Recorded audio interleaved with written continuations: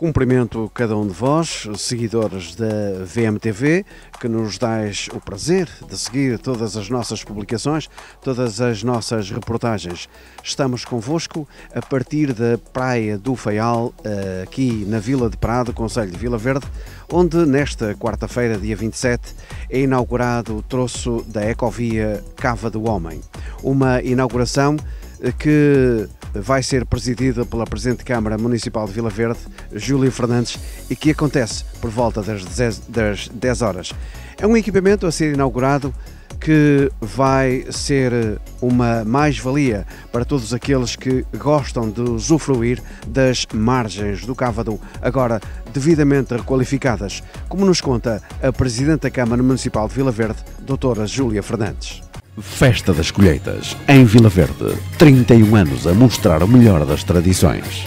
Produtos regionais, do campo e sabor genuíno. Artesanato, concertinas, a boa gastronomia, o nosso folclore, produtos e máquinas agrícolas e muita animação. De 4 a 8 de outubro, no Campo da Feira, em Vila Verde, Festa das Colheitas. Viva por dentro a tradição e a modernidade. Toda a programação em cm-vilaverde.pt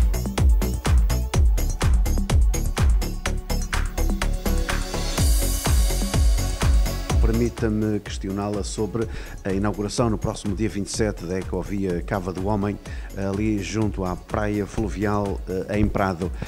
Um, é uma valorização das margens do Cávado e tornar estas margens uh, que possam ser possíveis usufruir por parte de quem visita o Conselho Vila Verde, dado também que celebramos o Dia Mundial do Turismo. Exatamente, não foi por acaso que nós escolhemos o Dia Mundial do Turismo para a inauguração deste troço. A Ecovia do Homem Cávado é um projeto extraordinário, é um projeto que vai ligar a montanha ao mar, que vai ligar o Parque Nacional da Peneda Jerez a Esposende e, portanto, é um percurso extraordinário pela beleza dos nossos rios, Homem e Cávado. Nós temos já eh, concluído a nossa, a nossa parte, o nosso troço. Vamos querer prolongar fora esta, este, este projeto financiado, vamos no próximo fundo, no próximo quadro comunitário, querer prolongar a, esta ecovia do, do, do, nas nossas margens, portanto, do lado quer do homem, quer do cávado, porque de facto é a forma que nós temos de uh, promover a zona maravilhosa que é a zona junto dos nossos rios, tem, a, a Ecovia ainda não foi inaugurada e tem sido centenas de pessoas que já têm usufruído deste recurso, que andam na Ecovia com os filhos, que passeiam.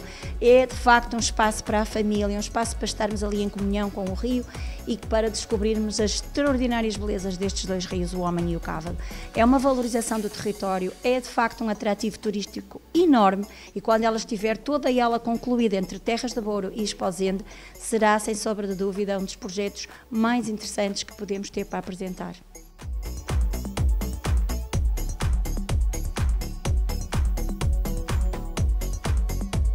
Obrigado por assistir.